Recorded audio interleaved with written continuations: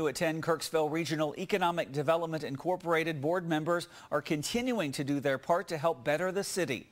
K-REDI's operational plan was put into action six months ago. Now board members are looking at what's been accomplished in that time period. Items in that plan include town hall meetings and the organization doing more work on the public relations front. K-REDI President Bert Beard said during the meeting that he believes the organization is now heading in the right direction. K-REDI Executive Director Carolyn Chrisman will keep on doing her part, meeting with site selectors and contacting businesses that may have an interest in relocating to Kirksville.